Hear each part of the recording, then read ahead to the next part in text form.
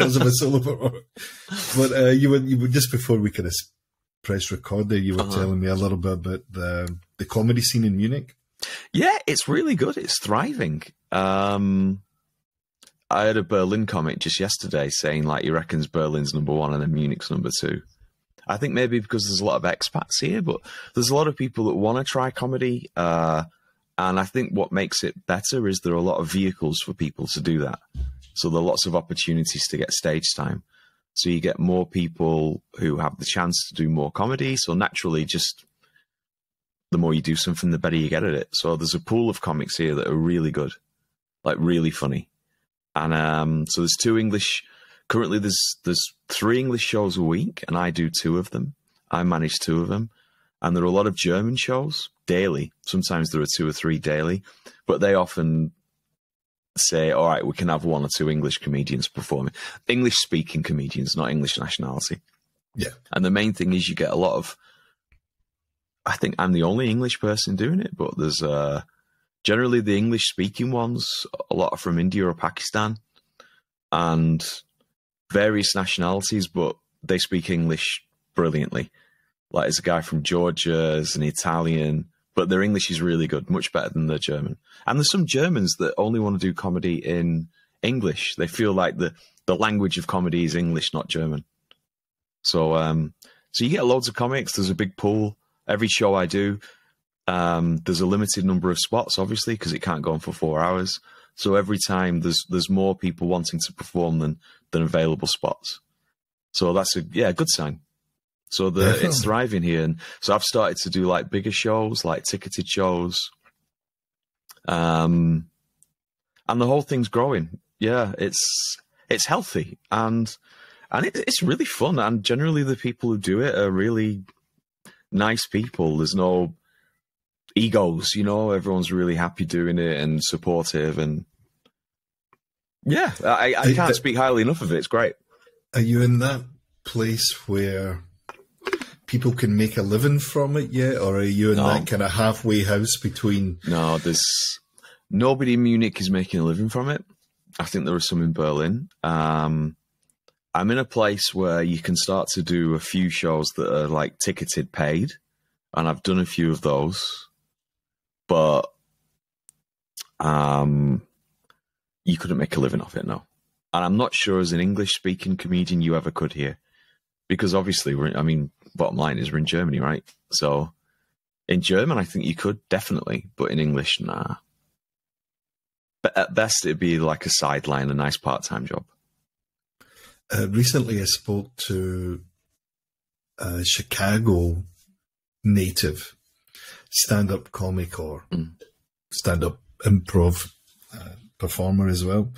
And he's based in Amsterdam and they have, it's called Boom Chicago, I think it's called. I probably got that wrong. I should remember. And uh, yeah, he's performing there five nights a week with nice. a cast of six or seven other performers. Okay, stuff, cool. So, yeah, it's interesting where these things are popping up. There is people who do make. I know people who do professionally, but they generally they'll have a base wherever that might be. So I know someone in Barcelona who's an American, and they'll just be invited to do gigs, or they'll pop off and maybe do three in an area, then come back, or maybe spend a week doing that. And those guys do make a living out of it, but I think generally, even then, they probably got a sideline, you know, to try and make extra money. But that's probably the same in the UK or the States. How many people actually would make a living out of it? I don't know, actually. It's not an easy game, right? You know, no, no. But you're comfortable where you are. I mean, not financially comfortable, but comfortable mm. in the way things are running. Absolutely, absolutely. It's given yeah. you artists a kind of a, a stage, literally. Yeah, I think uh, for me it's like quite important to uh, create kind of a community feeling where it's supportive because it's hard to go on stage on your own and not feel that everyone's with you. Because uh, often for all the comic comedians, sometimes you try new material and it's bombs. It's awful. Whereas if other people are really supportive, um, it makes it easier to go on stage. And and there's a feeling certainly with the the shows that I do there's a nice sense I don't know about the others ones but there's a nice sense of community and you know we help each other out and it's the good guys do you think it's like the advent of social media or the increase in social media that's given people the confidence or self confidence to go and try something like this. Maybe 10, 15 years ago, it wasn't such a. People would do it, right? But you, Yeah. the stakes were higher in that case, maybe. I wonder if if it's actually the opposite. I wonder a lot of people kind of stay in, and social media's made people quite closed in. Uh, do a lot of solitary things, whereas the comedy stuff is about getting out, performing in front of people, mixing with actual people. People, you, I know, uh, people use social media uh, media to advertise themselves or a show, but I think the actual performing is more for that human element. I've got no evidence to prove that. Um, no, I don't just- know Just but it's, it's what I think. Yeah, I mean, I think maybe people use social media. So social media is a way to see there's opportunities, as in like, oh, I saw on Instagram or I saw on Facebook there's this show, so I might go and give it a try. But I'm not sure it's the reason behind it, and I'm not. I think it's only a way that people have learned there's an opportunity rather than influencing them to want to do it. Hmm. I think it's a fair point. is brilliant, or God, this has only got 200. What's the problem? Oh, I don't, I, I don't really understand. Um, I'm learning. now you're I getting mean, into the realm of people's attention spans or algorithms or all this other kind Oh, of God, yeah, yeah, yeah. inexplicable stuff that untangible stuff that you can't really you don't know where it starts and where it No. ends. I've got no But idea. you feel like you have to do it because if you don't, then you're you're missing someone's Well, missing yeah. trick. You know? and you never know. Like someone might see something in a video and think, "Oh, this guy's good," and then maybe offer me a job or or another kind of opportunity. So, and also it is kind of fun, you know, to pop a video on there. And, How are yeah, your social media skills then? How's your? Crap. Uh, I mine too. So. crap. I, I need to be better at it. Um, Or mi- actually, I try. I mean, that's not Try. true. But when you see other people's, you think, "Oh, that's quite." I know. how do you do but, that? but they must be know? spending a lot of time on it. Aye. And I wonder if sometimes there's like a certain, if you were born into it, then you kind of a di- what's it called, a digital native. Whereas if you're not a digital native, then it generally it's like it's not inbuilt. It's like okay, this doesn't come naturally to me, so I'm gonna have to look at it and figure it out. Because I know often like I, I want to be good at it, but I don't know where to start. So I'm just like, "Boo, here's a picture, post a picture," or I think this is funny, or or this, that, and the other. So I'm no expert. Learning, man, learning. But I think if you have a, a bit of time in your hands, a wee bit of patience, Yeah. some YouTube tutorials and stuff like that. The other day we Yeah. were talking about uh, Da Vinci and stuff Yeah. like that, right? Great tools where you can just take your time to go through it and put Yeah. Oh, something together yourself. God, the tools are there, absolutely. And I've because I've done video editing for something else in the past, so I'm I'm comfortable with all that and cameras and things like this. But it's more, uh, I think I think too much about it. It seems, from what I gather, the best way is just to keep posting, keep posting, keep posting, keep posting, and then eventually you get some traction. From what I gather, that's the best way. But what the fuck do I know? yeah. The proof's in the pudding. I was going to say. I know, too. yeah, I can't, really I can't really. I can. I can't confirm nor deny. What brought you to Munich, man? Uh, same story as loads of other people here. So my um, my sadly now ex girlfriend, she got a really good job here, and my job wasn't so great back in my hometown. So she just said, "Oh, I've got this good job. Do you want to come along?" And I said, "Yeah." Um, Had, I didn't you have been any. together a while at that point? Yeah, a while, but we'd never lived together. Um, and the living together proved to be a bit of a disaster. Like, sadly, you know, it all, yeah, it, you know, but nobody really did anything wrong. It was just one of those things. So we split up. And then I didn't know what to do. Should I stay here in Munich or leave? At first, I found it very difficult to fit in because I found that basically the German directness, shall we say, really pissed me off. Whereas now I know it's just the way they are. It's not rude. But then I felt it was really rude, and I thought, what can I? But I decided to stay, and it was a good decision. Because where I'm from, just Preston is my hometown. They're just, you know, you got people with master's degrees working in call centers. There are just no opportunities. Whereas here, I found there's just a lot more opportunities. So I've been able to do different things, and and that's what kept me here. I think. Yeah, so that's the reason I'm here, and there's a lot of other people here with the same story. A lot of people came here for a job, but a lot of people also expats came here for love, and yeah, I'm one of those guys. And now you're just here for the football and the beer and random podcasts. With, random podcast football, but yeah, no, yeah, I fucking yeah, I, you know, I've carved out like a half decent life for myself here. Yeah, that's what it's all about. And I yeah, think, yeah, you know, yeah, and I'm happy like in a nutshell. And also, like, leave. I'd recommend it to anyone, even if you go back to live in the UK. I'd recommend leaving for a while, trying something new, just uh, get a different attitude, a different way of thinking. I, I I couldn't recommend it enough if I had kids, I'd be like, go live in another country. You might stay there forever, you might not come back, but go, go, go, go. And um, so it was really, really, really good decision in the end. Could have gone one way or another. Because I know people here, they've come here and they've just hated it and gone back in three months. They're just miserable, eh? Yeah, I just don't like it for whatever. And fair enough. You know, it's not a criticism. Just, no. just they tried it and went back. Fair, fair play. Um, before we started recording, you were mm. also telling me about you were doing some theatre things, or you have in the past. Yeah, you, you, still not at the moment, no. But I used to do a lot of like theatre plays, so I joined this like sort of theatre group here in Munich, and I did lots of uh, lots of plays.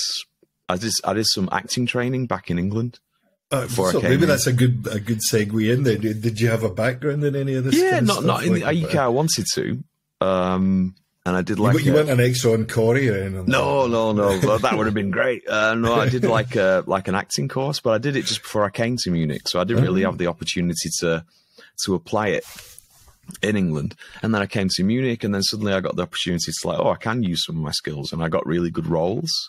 And the roles led to me doing play a couple of plays in Luxembourg, a couple in Belgium. Um, was there one I saw advertised that was a radio play or a series of radio plays? I did a radio play, and, uh, and um, I was the host and acted in it uh, in this place called America House in Munich, and it was uh, like Halloween themed.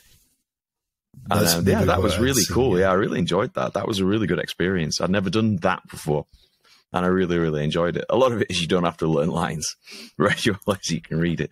So thank God for that. And I did. A, I've done some like movie stuff uh, film stuff. Yeah, yeah, yeah. Um, and then, uh, what, would you, what would you say your your forte is? Are you you comfortable with all of them? I am. Whether it I be am. straight roles or stand up, or I am. It seems to be stand up or a villain. Seems to be uh, where I'm most comfortable at. But I really, how can I put it? Um, the stand up's kind of taken over a bit now. Uh, but I want to get back into doing other things as well. But the stand up like takes a huge amount of my time and it seems to be really growing. So it seems to be this maybe is the best place to focus my efforts. That sounds really serious and dry, doesn't it? Fucking. we, need, we, just, need we need that zinger at the end. Fucking hell, like, uh, but it's just it's just plain old fun. I mean, you Aye. sometimes you can't go wrong with just this is a really good laugh, literally, you know. So why not do that? Was it um, we was it a case of you being more proactive to to search these things out, or was it a bit of both? Some things kind of landed in your way, or you you met some like minded people. Well, you know, there's like the Edinburgh Fringe, um, so it's like yeah. bit like biggest arts festival in the world, amazing. And I did right. a play with a really good friend of mine, and um, it was just me and her, and we like got the theatre, and it was in the, like the Royal Welsh Academy. Um, so it was a really cool theatre, and I did this play. It was in Edinburgh, and I had no real thoughts of doing stand up comedy. And in spare time, you watch lots of shows, and there's loads of comedy there. And I just, uh, like a lot of people have, I thought mm, I can do that. I thought I'll have a go. And um, I did um, first open mic thing in London, and it was pure terror. I remember before I was supposed to go on, I um I ran to the toilet. The men's was further away, so embarrassingly, I ran into the women's toilet because I thought I was. It was I'll vomit on the floor unless I just I've got to get. And I just I didn't I wasn't sick, but I stared at myself in the mirror. You've got to do this, and if you back out, you regret it. And I have no actual memory of doing it. I was so scared. Blank I really, I, I, I swear, I have no memory. Rush, yeah. yeah. I only know, I only recorded it. Like, I only recorded the audio. That's the only reason why I, I know it's not a dream. And then, um, and I went back to Munich and I did a couple of shows here and I thought, this is great. But I thought, you know, I'd like to have a, a little bit more control over it. So I started my own show. um, and it's gone from there. So yeah, it's more like I like to kind of controls maybe not, but I thought I'll give myself the opportunity, and the best way to do that is to create my own thing. So that's yeah. Is, that kind of that the advice you'd give to any uh, anyone who's maybe thinking about jumping think, in at the deep end or dipping their toes into the water? I'd say at first, at very first, just do it. Don't think. Well, don't be like, oh, I think I'll wait a couple of months and plan out my material. Don't do that. Get up and do it. Um, tomorrow, if you really want to like do it, just five minutes together. Put five minutes together, or even three minutes, and then get on stage and just absolutely do it. Don't procrastinate. You'll just get, um, you'll find a reason not to do it, and then jump on stage. And I absolutely guarantee, even if you don't do well, but you always get a lot of goodwill from the audience if it's your first time, and even if you don't do well or whatever, you will feel amazing afterwards. And regarding starting a show, I think that depends on the individual. Some people just really don't want to get involved in the organization. They just like to turn up, perform, go home. And there is a lot of organization to it. There's more than you think. So, um, and that's just not fun. There's no fun in that. No. So I think some people depends on your personality. I I like I like to kind of have my own thing, so I, I don't mind doing it. Whereas, but also if I turn up to perform in other shows, it's bliss. Hey, I can just come here, relax, do my thing. Ah. Whereas often with the show I'm doing now, it'd be fucking problems, panic, and then I've got like right, I've got to start in ten seconds, and then it's just change my face, bang on stage, and do it. Um, there's, there's a clip I saw online uh, it might have been a couple of weeks ago when you posted it, but it was about the Augsburger Arschlecker, mm-hmm. right? So it was kind of interesting because it seemed to be the people in the crowd. I guess now's as good a time to find out if any of the crowd were predominantly German that night. Absolutely, yeah. Generally, that's not the case, but this crowd was predominantly German, and I already knew what it meant. But it's kind of funny with I find it funny um, to to ask Germans to explain what bad words are. Words yeah, dirty. like Arschleck is like, uh, uh, you, I think the English would use asshole, but it means more like arslicker. Arslicker, right? Yeah. I would say. Um, and it's just funny to get someone to explain that to me. And the and the crowd, you could see on the clip, the crowd are really laughing. They really enjoy yeah, it. It's funny, man. Yeah, yeah so they're kind of like, oh, what's he saying? And um, so yeah, it's enjoyable. But that's actually true. First German day, because I went to watch a football game, and it was 1860 against Augsburg, and we went up to Augsburg, and they're all shouting Augsburger, Arschlecker, and I thought, what does that mean? And then they said, oh, right. so then I knew. So, like... yeah, kind of. So a lot of my, my football, some of my German's bad, but my football German and my bad word German are just about perfect but the rest that's of it all starts. I think you know that's where it starts and where it ends. You know, at least in my experience. I can swear get, a lot. Yeah, you get profanities right. You're, yeah, you're, you're but still, right if I'm really angry though, if something's really pissed me off, like someone's nearly killed me when I'm cycling, then I switch into English. It's like default.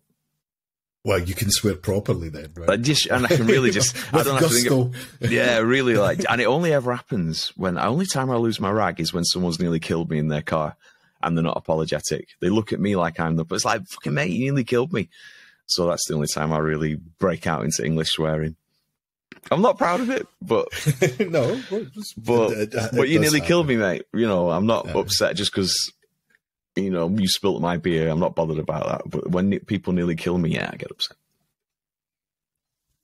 So one of the shows is West End, is that right? Or are they both in the same event? No, you, there's three shows. No, uh, so two. Uh, so one's at West End, and it's just called that because the uh, district in in Munich is called West End, West End, and it's a bar there called Schwarzer Dackel, and that's more like a regular pub, if you can imagine. And the other place is called Beverly Kills, and it's in the, the uh, an area called the Glockenbach Viertel, and that's more like actually it's like a hip hop nightclub, hip hop nightclub. So I get the space from eight till ten, and then when the show's over, it it turns into what it really is, which is a nightclub. But the guys who own it, they're happy because it's an extra two hours of punters buying drinks. Punters? Yeah, and then obviously some of them stick around for the nightclub after. I'm happy because it's a uh, everyone's happy. It's a free place to perform, so that's a that's was a good opportunity. a case of you chapping on some doors to find some places to play? What was it like when Often, you give us a, an idea of the timeline when you you first moved to Munich, and or how long you've been doing doing this? the comedy. So I've been. I was in Munich for years before I started doing comedy. The comedy's relatively new, and it was just a case of I did a show. Um, it it was called Comedy Kills at the same venue, Beverly Kills, and that was on a Friday and a Saturday, but it's in German. But I said to the girl, "Can I do it in English?" She's like, "Yeah, yeah, yeah, no problem." And I did it, and we just got chatting. The guy organised it, called Alex, and he said, "Look, you could use this as a venue." So I spoke to the owners. So they already had a successful Friday and Saturday before the nightclub, and I said, "Well, you're open on Thursdays. Do you want to do it on Thursdays?" And they said, "Yeah." And um, I think we've done sixty shows there now, maybe more. But um, yeah, it's one of those things where everyone's happy. And the other one was I wanted to start a second one, and that was yeah, you go around to various venues and ask, hey, are you interested in this? A lot of places say no. Honestly, I don't understand why. It's like, oh, I'll do all the work and here's some free money. right, you know, so- um, what a nightmare, eh? I don't. But a lot of people just are not interested. So there is a bit of knocking on doors, and um, but the place with the Tuesday now, they were they said very they were very little cautious at the beginning, which is completely fair enough. We'll have a bit of a trial. The trial works because people want to come and watch stand up comedy. They're happy. They're happy now, and, and I'm happy too. So, yeah, it's it's a real win win.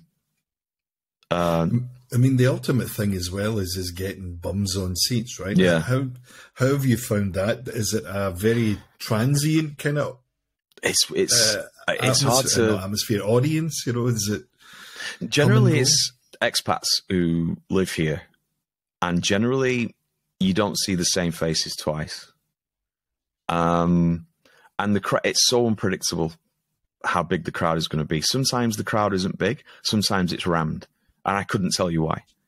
Because all the metrics you can look at, how many people on Facebook are interested, and the other things all say, "Oh, it's going to be busy. Whoa, we're in for a busy night tonight," and suddenly it isn't sometimes the last two shows we've done, all the people who work in gastronomy say, "Oh, January's the worst month. Biggest crowds we've ever had, rammed." Um, so I had someone write to me today, even one of the people who went, said, "Oh, it was a really good show. I really enjoyed it, but it was too full." You know, I, and it's honestly, don't ask me. Same, same, same kind of promo thing every week, but varying amounts of people. So that's the other thing. How do they they be in the audience? How do they Mhm. know where you are? I mean, are you you would as we just talked about the social media Yeah. kind of thing, but is there another platform that they can, or do they just they just know No. it's there? I, I kind of ask them um, before, like chat, chatting, and it's Google search, it's Facebook, it's Eventbrite, it's Meet um, Meetup. So maybe they're looking for it specifically. God, yeah, it- Often also people are just saying it's Thursday night. What's there to do? And they'll have a look around and they'll see there's a comedy night and they'll go to a comedy night. Some people are comedy fans and they think I'll go. Some people want to try it themselves, so they think they'll have a look. Um, how does it work? Some people um, are kind friends of the comedians, you know, so they'll come along to support whoever whoever's performing. It's a real mixed bag. Like honestly, there's no if I could if I could figure out exactly to make sure it's full all the time, I'd do it. But I'm not sure there's any rhyme or reason to it. I wish I could figure it out. And generally, I think the venue helps as well. Um, you know, if it's a good they're venue, in good, they're in good locations as yeah, well. good locations. So both locations where I perform are, are known and easy to get to. They're not out of town or anything, so that helps. But apart from that, I couldn't tell you. I think, and then shows do get a good rep. Like, okay, you know, like anything, word of mouth. Oh, this is a good show. You good should go and check it out. So then word of mouth helps too. But honestly, I don't know. That's the long way of saying I don't know. I don't know. I don't know. Um, Since we're in the, we're recording this in the first week of uh, January 2023, man. What, I can't get used to 2023. Not yet, anyway. No, it's but probably next week it'll sink in. It'll, know, yeah. Well, next month. I haven't had a beer since Monday or Tuesday either. It's now Friday, so I don't know. I'm trying. I'm, I'm trying this dry January, I'll do and the dry one in February or March. I find it easier to do it then. I think so. Uh, it's I'm too not, soon, man. You know, it's too soon. I'm kind of because the shows are all in bars, so obviously you've got alcohol flying around everywhere, and uh, I'm all right with it. I'm not. I'm not kind of tempted, but yeah, sometimes it's not really like I need a beer. It's more I just fancy a beer. Maybe that. Maybe I'm fooling myself and I'm actually a raging alky. I don't know. but it's just like, oh, that'd be nice to have a pint. You know. What uh, I'm trying to avoid the word. Uh, I've completely forgot the word this is. We're having all that good banter there. Uh, resolutions and all that kind of yeah, stuff. Yeah, New Year's resolutions. Rather, yeah. rather than use resolutions, what about goals and aims and objectives and what plans have you got for the year ahead then, or at least in the next six months? You know, since we were um, talking about God, you life going to Edinburgh in the summer. Yeah, that's the plan. Like do a solo show in Edinburgh. So I went there last year. Uh, before COVID, I did the theatre play, and um, last year I went um, specifically to do comedy, but I did like spots here, spots there, and just got to know people. That was really fun really enjoyed it.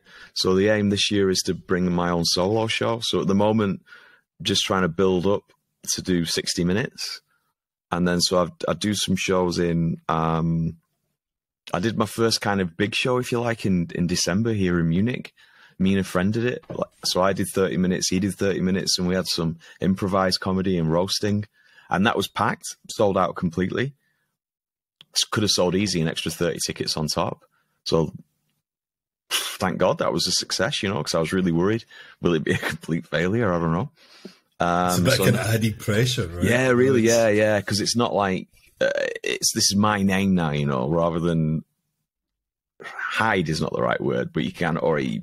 I'm behind the name of a show, so that was tricky. But it was, but again, like I had no idea how it was going to go, and it was a big success, luckily. So it's like take that, develop that, perform in different cities um, try and get a bigger name on social media, just kind of in general, just start to do bigger and bigger and better shows. So like so the this year is the aim is by August to do my own solo show. That's the aim this year. And also keep the shows going, the two I've got. Make them bigger, make them better. Uh because the really fun. Have you found a broom cupboard to stay in in Edinburgh or under the stairs? No, again, really lucky. Like, no, one of my one of my best friends lives in Edinburgh. Well, otherwise, I wouldn't be able, otherwise I won't be able to do it. Like, it'd be no chance because it's too expensive. It's ridiculous, actually, how expensive it is. It's priced normal people out of going. Yeah, I think that's a, you just, a, a, which is only summation, which is only negative for like the arts. There's so much talent but it, but if you can't go, you can't go because it's too expensive. You might be the best comedian in the world, but if you haven't got the money, you can't go. Which is a real shame. I'm, I can only go because I've got a, a, free place to stay. Otherwise, it'd be impossible. So yeah, personally, like, I also start to do more videos, and I want to do more character comedy. Um, so that's my aim. The big one's August, August Edinburgh because for me that feels like a bit a big thing, you know. Really, if I can do my own solo show there, I'd be really happy, really happy. What advice would you give to uh, someone who's wanting to try out? Then you know, like if you were someone come up to you and asking to do their five or ten minutes, yeah, but they I'd didn't say, know where to start. You know, I'd say if if I would say number one, do it as soon as possible. Number two, if you're not sure, what to do. I'd say absolutely keep it your own material. Number one, keep don't copy anybody. It's got to be original from you. And I just have a think about your life. Sit down and write a list. Um, what I love, what I hate, things that interest me, things I'm passionate about, try and find the funny in it. You could do those, well, I don't know what you call it, like spider diagrams, mind charts. You know, you have a word in the middle and then there's lots of mind map things. Mind maps, that's it. Yeah, that's thanks. And um, mind maps, and then try and figure things out and then give it a go. Like I said, uh, for the first time you get a lot of goodwill, first few times, so you can experiment and then figure out, all right, that worked. We'll keep that. That didn't work. Why? Can I change it? Change the vocabulary? Change the style? try it again. Maybe it doesn't work again. There comes a point where you have to say this idea is just shit. Bin it. Um, and this idea is good. And uh, what I like about comedy is you know it's good because people laugh. It's about as simple as that. They laugh or they don't. Um, so obviously, if they laugh, it works. Then you can keep that little bit and then start to build. So two minutes becomes five minutes. Five minutes can become ten minutes. But the only way you know is performing in front of a live audience. That's the only way to know. And then by people laughing and not, you just you know trim off what doesn't work, build what does, and eventually you start to build a bigger set. And don't be scared to try new material. And if it bombs, it bombs. Um, don't worry about it. The first or the last one, right? That's I don't. I, you can guarantee. No, yeah, because you want to try new material and then grow. Because um, what you think might be funny and what might work, oh god, complete I, opposite effect. Oh, I remember once I had this story about it. It's nonsense. Like my mum came to visit and she brought this stupid present with her, and I thought it's the funniest thing in the world. And I was telling people just the story what happened in in pubs, friends, and they were laughing their asses off. Yeah, and I tried to do it on stage, bombed, died, awful, and I'm still mystified but I learned a le- but I learned a lesson. It doesn't work. So like, there's no point in banging my head against the wall with it. Just bend it. But again, that was how I learned just by doing it. Afterwards, I felt oh, something horrible inside. My soul is dead. Nobody's laughing. Oh, oh God, yeah, yeah. It's kind of a horrible feeling, but still, the afterwards, the adrenaline of doing it, it feels great. I so my advice. Be, oh no, please go on. But I'd say my advice is number one: just do it. Don't think, just do, and analyze. Not have a listen to what you did, figure out what works and what doesn't, and then build from that and grow. Do you record most of your shows everything, and then everything. go back and have listen back I again? I record everything. Sometimes I don't because, well, it's just laziness, really. If I'm honest sometimes I don't know. I need to. I record, but I, I make a point of recording everything, um, just so you might remember. Oh, I did that spontaneously, based on what someone in the crowd said, but that could really work. And then listen back. What was it? Um, and then figure things out. Or also, you can just listen back to what you did, and oh, that word there worked a lot better than using that word. And it is weird the the the little things that can suddenly make something laugh someone laugh. Like I had a joke where I tried lots of airline names, and the only one that worked was Ryanair. You know, EasyJet didn't work. Um, Lufthansa didn't work. British Airways didn't work. Lufthansa did. Uh, sorry, Ryanair did. And then, yeah, little things like that. I have no idea. Then suddenly, everyone's like, mm, what, what, this guy? What's this guy on about? So, oh, really funny. It's it's a bit like alchemy, I think, rather than an exact science. that's, that's, an interesting way of it. It's the, the the continual search for alchemy, then, right? Yeah, there, really, really, like digging for gold, and it it pops up in the most weird places. Um, and also, I think having an open mindset where you kind of start writing and then looking for the funny, and suddenly it starts to become automatic, natural, and then funny things start to come along, and then you go to a an opportunity to perform, open mic, whatever that might be, perform, trial it, and build from there. And it's like anything: the more you do it, the better you get. So my advice would be: be once you decide to do it, do it as quickly as possible. Next available opportunity, um, try and work some things out, but keep it personal, your own voice, because people will know if you rip off a joke or something like that, then they know immediately and they think you're a bit of a dick. Did you see the James Corden Ricky Gervais? I did, yeah, yeah. Thing? I did. It was interesting, but Ricky Gervais came out and said it's absolutely no problem. You know, it was an accident. Well, he's just sitting in his house counting his money. Right? I know, God, he's rich. Lucky, but he's he turns out good stuff. Like Ricky, I mean, like The Office, and then Extras, and then that Derek one, and Afterlife. I didn't. I didn't like the Derek one. I don't know. It just wasn't. Funny, I don't. I really. I, I, don't. I of. Well, not funny, but I thought it was kind of comedy. Well, it was interesting. It was. There was a good interesting. Is more more yeah. funny. Extras was just funny. Um, but yeah, I think the the Office is class, man. The Office mm. is just cringe-worthy. And surprisingly, I like the American one too. I was a bit negative about the American one, the remake. Often like, oh, they'll, they'll ruin it, whatever. But it is really good. But yeah, regarding I don't know, that Ricky Gervais thing was. It seems I, have never, no idea. I've never met the two. I've got no idea what they're like personally. Well, Frankie it, Balls, Frankie Boyle's, forever winding him up, right? If you yeah. watched the New World Order thing, he's always talking about the difference between being a stand-up and doing a yeah a live show kind of thing. Is, is but I read like so Stewart Lee, you know Stewart Lee mm. comedian, and he was like ripping into Frankie Boyle. I think saying like, yeah, he he does well, but considering how many writers, joke writers, he's got for him, no wonder. And I think having a little dig at that. Like I don't know what Frank. I I think Frankie Boyle's really funny. I remember his show Tramadol Nights. I don't know if you saw that. Tramadol Nights, yeah, that was really good, but it was a bit hardcore. But I thought it was really funny. So I like that. Mm. Frankie Boyle's great. I, I'm not too fussed how they come up with the material as long as it's funny. But um, yeah, that whole I, have heard loads of bad things about Corden. I've never met him, obviously, but um, what I read about seems he's not a good guy. Uh, he does have a, gather, a reputation as a yeah, as a, a bit of a bully and a bit of an asshole, and you know, like really arrogant and.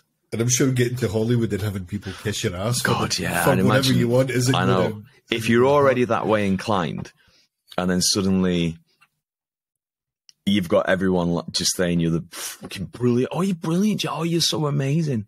I mean, I've, I've never wanted the guy personally. I was finding him a bit fake. Yeah. Don't know. You know who Limmy is? I know we keep talking about Scottish comics and that's what it sounds like, but you know who Limmy is? No, I don't. I've never heard of Limmy. Right, no. So if you go and look up Limmy, he's done all sorts of kind of sketch shows in the past, and now he's a Twitch guy. Okay. So he puts all his stuff, he streams it and all that stuff. But he, I saw a thing a, a while ago. It was really funny on YouTube where he just goes into the how much the mannerisms of James Corden really annoys him. So it's like that reaction video of, and he's just like he's just going off his head. But it's, it's okay. Cool. I'll have to check him out then. Limmy, no, I've never heard of Limmy. No, there's. Yeah, he's, uh, he's kind of well known, and he did some stuff with Charlie Brooker way way back in the when he did those. Okay. TV things. I forget what they were called, but Charlie Brooker's TV Watch or whatever it was. Oh called. no, I heard. I never saw that. I only really Charlie Brooker's uh, from Black you Mirror. Get all which, them on YouTube. Eh? Yeah, I'll have to check that out. I like the idea. Sounds really fun. And to be honest with you, if he if he's getting annoyed by James Corden's mannerisms, he sounds like my kind of guy. It's like there's one that James he does that horrible. It sounds like I, I know everything about James Corden, but, but just because I've seen all these dodgy videos. He's in the carpool karaoke, and it's just the mm. worst thing ever, mm. man. Eh? and he's he just keeps freeze framing it. He's like, oh fuck it, look, fuck. He's just oh, losing his shit, but it's hilarious. That fucking grinded. That I saw a bit of it, and then I think, oh yeah, I just it's one of those ones where you see it for a little bit, and you just you uh, this is not for me.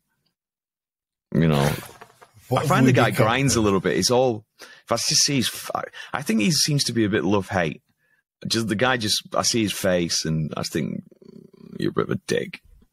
you know, I just, I, I, you know, you warm to people. Right. And some people you just well, he has no think, he has no warmth or I know. I just find him just like a charisma vacuum.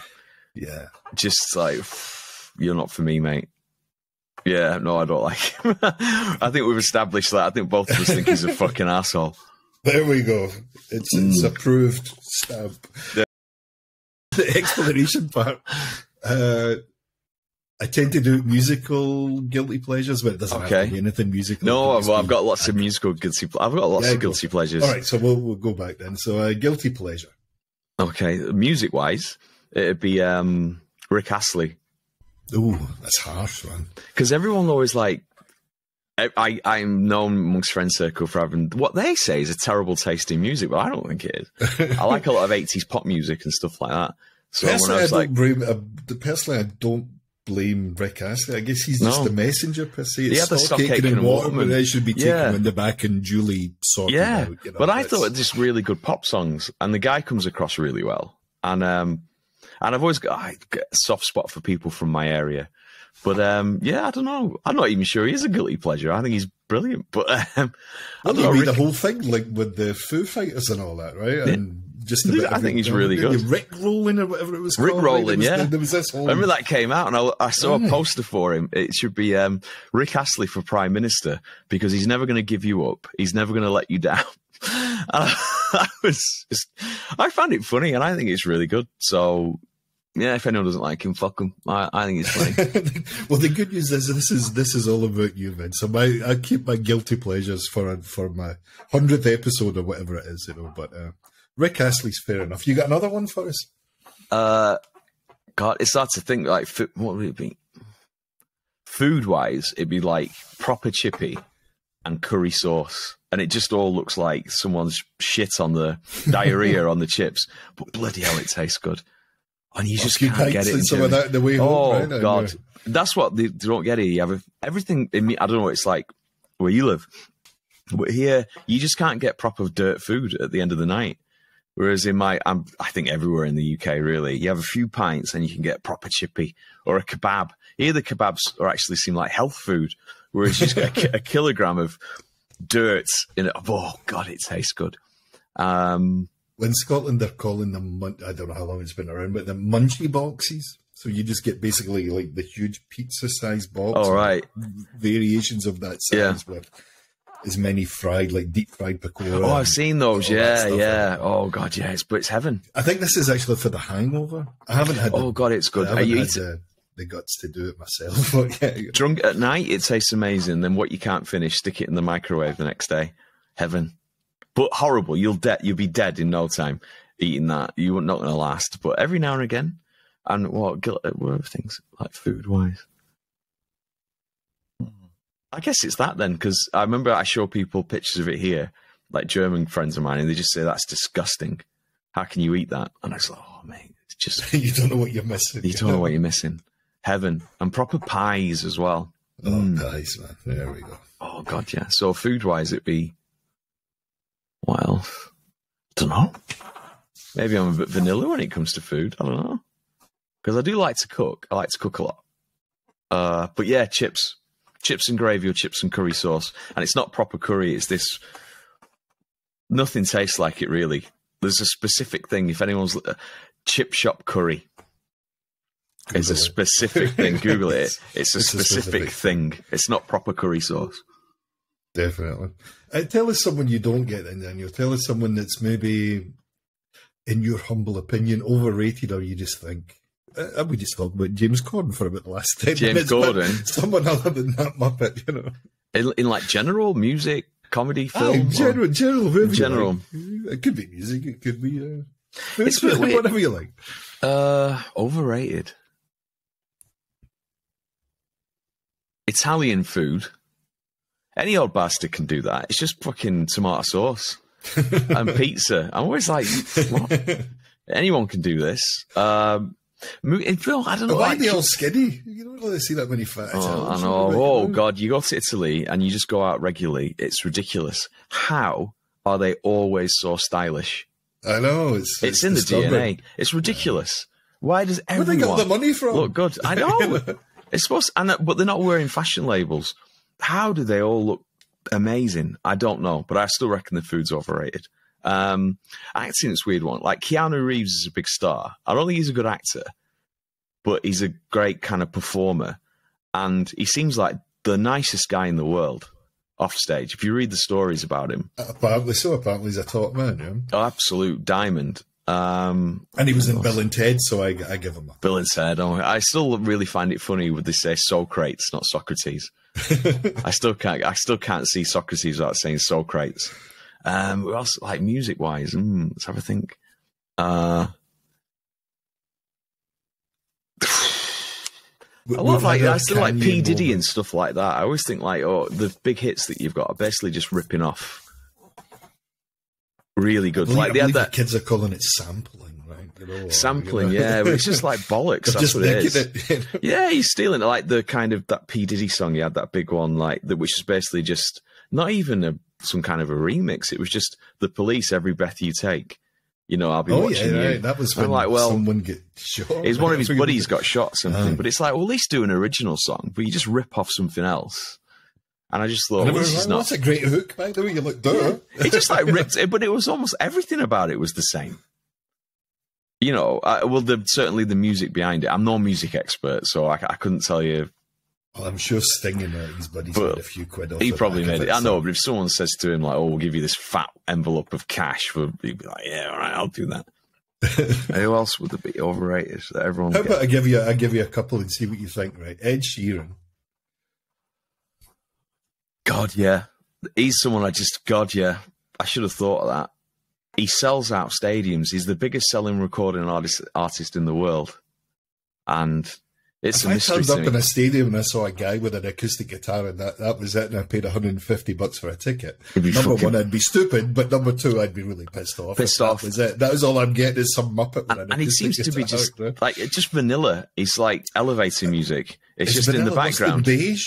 I don't know. But I, for me, vanilla and beige is the same thing. but you know what I mean? Like, into one another. if if it's in the background, I'm not gonna jump up and say, "Turn that fucking shit off." I just won't notice. Do you know what I mean? And then it's a It's mystery just to me. bland after bland. just bland. it's- like yeah, it's like elevator music. I couldn't, or music you hear in supermarkets. I'm not going to start raging about how terrible it is, but I'm also just not going to notice it. It's just some din in the background. So yeah, Ed Sheeran, and uh, he did a show in Munich. Uh, the, there's the Olympic Stadium in Munich, absolute packed. Uh, up here at I Schalke, just- right? It's not far away. Gelsenkirchen's not far from Dortmund. It's what, 20, 30 kilometres or something? It's not far. And uh, yeah, the Veltins Arena, he played Mm-hmm. there like two nights. They had to move it from Dusseldorf, apparently. I know a couple of people that went, and uh, yeah, I just, I just stopped. You still friends with them? There. I just stopped the conversation there. Yeah, just like you do you. It's, it's your money, you know. You can uh, But I, I, squander the it as you see fit. I know because there's so much many good up. At there's not not enough, but places in Munich you can pay ten euros and see all sorts of new bands, and there's you might not like it, but there's energy there, you know, and there's like okay, they're putting something in. People might have something to say, or, I uh, know. or heaven forbid, a hook, you know, or uh, Oh God, that song you did that about an Irish girl. What was it?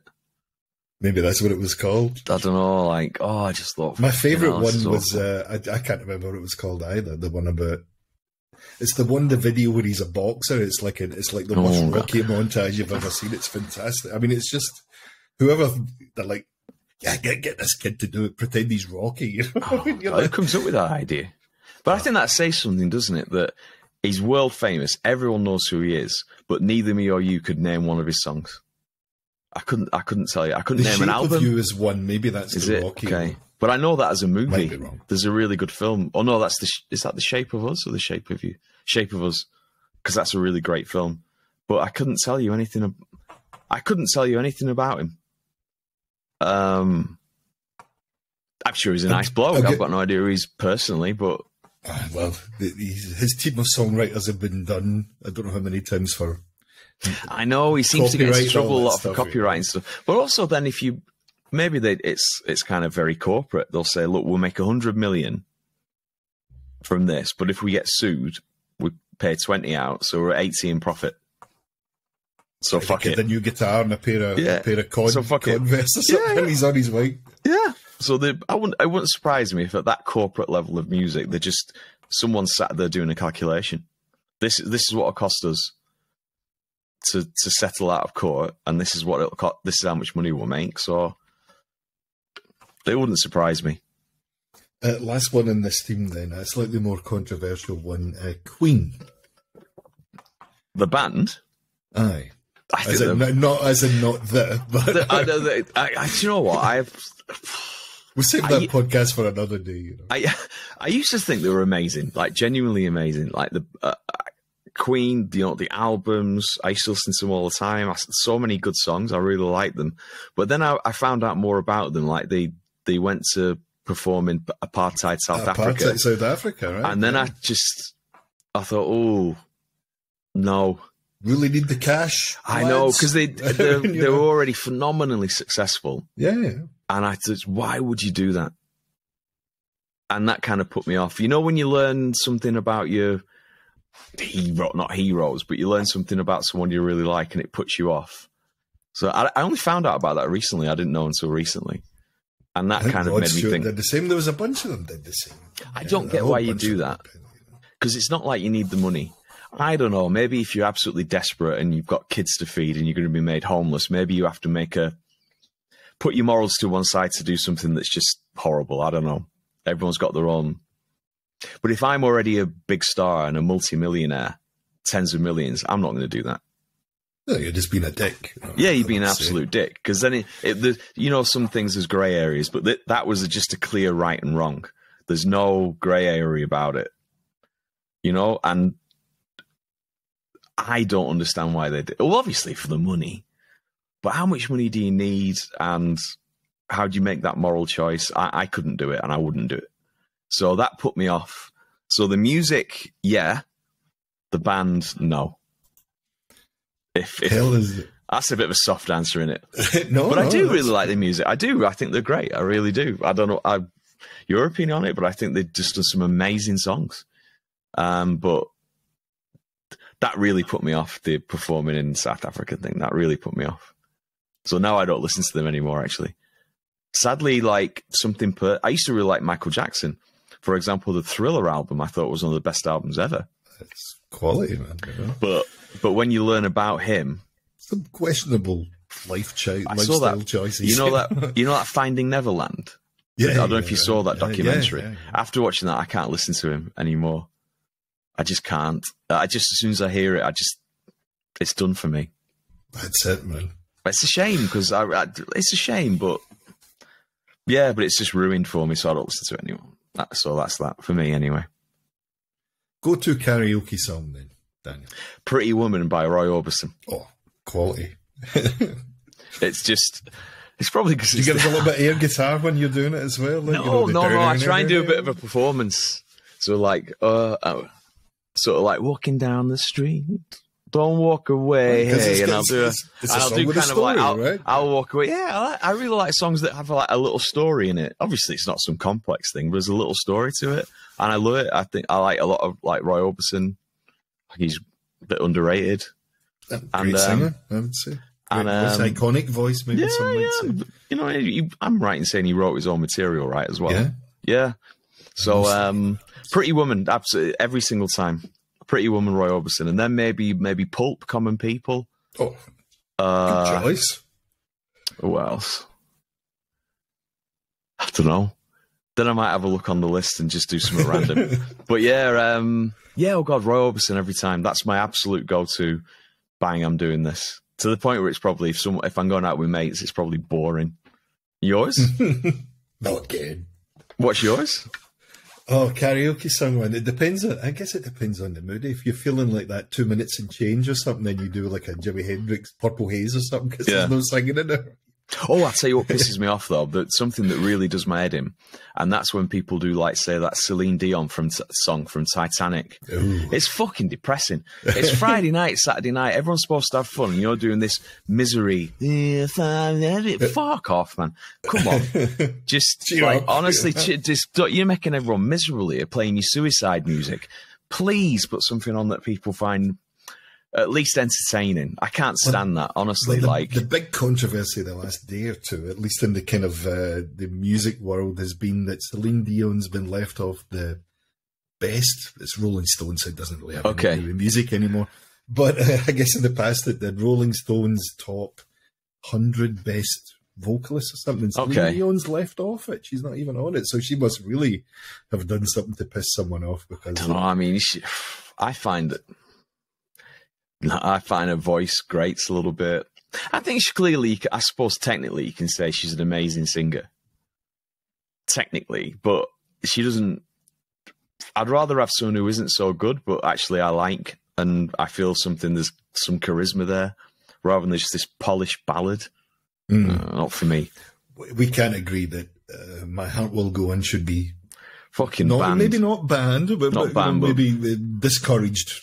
Oh god, and it's like that Adele song. There's Adele's another one I'm not a fan of, if I'm honest. Just this kind of those kind of like I don't know poncy ballads. I can't stand them. Honestly, they're just like this saccharine fake. Oh ugh. no, this mass-produced crap. It's just Nah. Oh god, yeah, it's not for me. Absolutely, just oh god, no. Moving swiftly on, favorite venue. Either you've played or where you you like to go see someone. Uh I'm sure you've you've shared a few stages in your time. I have a few, but I have to think about that. Where I performed, I performed in this theatre in Antwerp, a play, and it was massive. You know when they've got like the gods and they've got like rings of uh like seating higher up in boxes and a huge theatre. I performed there and I just like walked on the stage, like did a bit of rehearsal before, and um, I was like blown away. Do you know what? I'm I can't remember the fucking name. Um, that'd be uh, that'd be comedy wise. It would be um, there's a theater in a big theater in Munich called Drehleier, and it's like two three hundred, and it but it's more set up like there's beer table seats, so it's not really like a theater. So people are eating and drinking while it's on, and that's amazing. Really big, fit two or three hundred people. Um, been to watch. I prefer like smaller venues. There's a, a venue in Munich called Strom, and I think it maybe fit 200 people in, and that'd be packed. But it's really just really oh, wow. Um, where else? Is it a comedy specific venue? No, or no, it's it- music. it's- It's music, it's music music. venue. Because a lot of the generally the comedy venues are just kind of like back rooms in bars and things like that. Whereas that Drehleier is specifically for cabarets, you know, like, like comedy and you know, like burlesque and dancing and singing and and more like fun things. Uh, that one in Antwerp is a straight theatre, like almost like an opera house. It was massive. Um, and to watch stuff in Munich, I think Munich's a bit poor for good venues, you know. For a city like this, it's a bit like tat. Like I've since I couldn't the first one that comes my head is Strom. Um, and then I struggle. There's some bad venues here, I can tell you bad venues. Whereas good venues I'd say Strom. Um yeah, it's got a really nice energy when it's full. Well, I have, I have a, an, ep- an idea for an episode of this podcast where I'm just going to talk about venues with, uh, Uh. try and get like a venue story episode, you know, Yeah. from, um, so I might be back in touch with you. Yeah, please do. And I can have a think about it. Because everyone has a story to tell about if you've ever played somewhere, Yeah. whether it be big, small, great, there, there might be some kind of uh, memory there. There's what? Yeah, oh god, there's one like performing in once. I did a show in front of four people. That was a bit hard because you kind of like, oh, you know, it gets to a point if there's less than four, I'd like privately just say, "Should we bother? I'll buy you a beer." Whereas, um, no, I never like quit. I always, I don't care how many people are there. Um, and some venues I've found horrible to perform in. The worst venues doing comedy are when they don't open it just for comedy. So you've got people in the back who are just there because, like, in an Irish pub, for example, they're just there chatting. So you can't tell them to shut up because they're not doing anything wrong. But it just this mm, that's not so great. They're the worst. The worst ones. to the atmosphere. No, it takes away from it. Ah, exactly. It's- And then uh, those are the kind of the worst kind of venues, I think. And the best ones are where you've got a kind of, I find doing comedy more an intimate space where you can make eye contact with people and there's like a connection. Um, uh, but music wise, yeah, connection through the music rather than looking at me. But there's this venue Strom, it's really, I like like good, good stage, maybe space for 100 people, max 200 people. And um, yeah, big venues and stadiums leave me a bit cold. You know, like a little dot in the distance, or yeah, I'm not interested in that. It's a bit of a.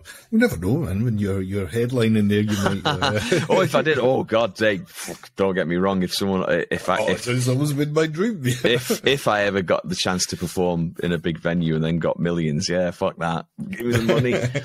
You know, I've got to be window. a last pragmatic. Well, the Bertolt Brecht, you know, the German playwright, he had a good. yeah. Um, he said, "First, first bread, then morals." kind of, I think go. there's something fair about that. That's, and he was a socialist, and I was like, yeah, Ah. you got to make pragmatic decisions every now and again. Right, definitely. Last question for you, man. Yeah, The who should we be listening to? Whether that be doesn't necessarily have to be uh, music related, but you know, Mhm. could be comedy related or someone or something you'd like to bring our attention to. uh, the comedian Stewart Lee. Um, I think he's just phenomenal. He doesn't really do podcasts or anything. You could watch a lot of his shows on YouTube and things He like does that. like big rambling kind of monologue. Oh god, yeah, like that. so good. But it's all. I saw him. I went to Edinburgh specifically in June. He does two shows, so it's like an hour. It's basically two and a half hours of just him, you know. And he writes all his own material, um, and he's just phenomenal. Uh, I it's just one of those where my cheeks are hurting afterwards. Um, and I saw his other, like a new show he did in August in Edinburgh as well. That's when I was doing little comedy bits performing myself. And again, he's just so good. My, I walk out with my cheeks in pain. And he's just phenomenal. So if there's anyone you want to check out comedy wise, I'd say Stewart Lee. There's another one. He died recently, sadly, Sean Lock. Oh, yeah. Uh, and he was really good. And there was a, a sitcom he made that hardly anyone saw, and it's called 15 Stories High. And you can watch that on YouTube, as, I think on YouTube as well. And that's brilliant. That is just criminally underrated. Um, how nobody ever saw that, I don't know. And he's just brilliant, Sean Lock. Bloody tragic that he died. Um, anyone else? Oh, God, I'm trying to think. There's a music wise, there's a a DJ from Seattle who remixes 80s songs and Japanese pop music called Yung Bae. Like, I believe the genre is vaporwave, and I can't get enough of it. I think there's something I cannot, I cannot get a, a, and also there's a Canadian band I really like called um, Chromeo. I think they're phenomenal. They're a bit like more like yeah. a bit like 80s ish, but they're modern. It's now, and they're phenomenal. So if there's anything, your listeners, I'd say comedy wise, Stewart Lee, and uh, Sean Lock, and also he's been dead for 30 years, but he died really young. I think he died when he was 32. Bill Hicks. yeah. Amazing, absolutely amazing. He was like a rock and roll comedian. No, no cure for cancer and all that. Man. No, no, no cure for cancer was uh, oh, Denis, Denis Leary. Leary. Excuse me, but there was a big hoo ha then. Strike me down. But there was a big hoo ha about there's about Denis Leary basically completely stolen Bill Hicks's Bill Hicks's, completely yeah, right. robbed him I remember and that. The there was a big. I'm just all I'd say is draw your own conclusions. Watch yeah, both that, of them and just see sacrilege on my part there. Oh, Bill uh, Hicks is phenomenal. The Bill Hicks stuff, he's going in the Waffle House and all that stuff. oh, he's, like, one of the ones what where you reading like, for? what you reading for? yeah, yeah. What you? Oh god, it's phenomenal. and he, he was someone who I'd say actually was a big influence on me. Someone I wanted to do comedy. He's someone like I'd say if someone said like my comedians were like also made me want to do it, and it'd be Bill Hicks and Stewart Lee. I just think are just fun, geniuses. Just it's it transcends comedy. To I think Stewart Lee could become incredibly abstract and do these wonderful things. Uh, and Bill Hicks, he had really something to say, mm. you know, real points, but did them in a really funny way. And music wise, maybe not as sophisticated, but Chromeo and this Yung Bae, it's like yeah, I think they're brilliant. But, and that's but these are things I've just got into. We could put links in the boxes. Everyone oh, has God. to do this these days, Daniel. Oh, links, links, links. Point at the links. You point that way or that way. Up here? Yeah, it's up here. Uh, but honestly, I think they're phenomenal. Like these two guys. This uh, well, these the band. There's two people. The Canada, um, and this this is this DJ guy. But I got into it, and it's like I can't get enough of it now.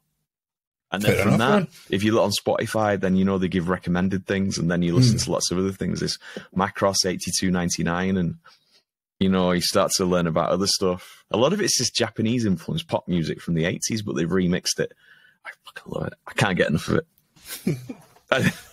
and on that bombshell, where can we, where can we find you online, Daniel? Just before we me, yeah, God. Um, Oh, this is plug, the bit. Plug that this shit, is the bit I'm not good. Plug that shit. So I do. Um. So basically, Daniel Beaver comedy on Instagram.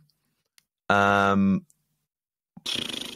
That's probably the main one, personal one. From there, you can find out whatever shit I'm doing, or I'm also on like TikTok and TikTok. Fuck, saying on TikTok. and um, was, you kind of you said that with kind of bravado. There, I don't know, like oh god. and so then you can like, feel um, the guilt hit you. More, you, know, you can. I've started using that regularly now, so you can watch more nonsense. Uh, that's also like Daniel Beaver comedy.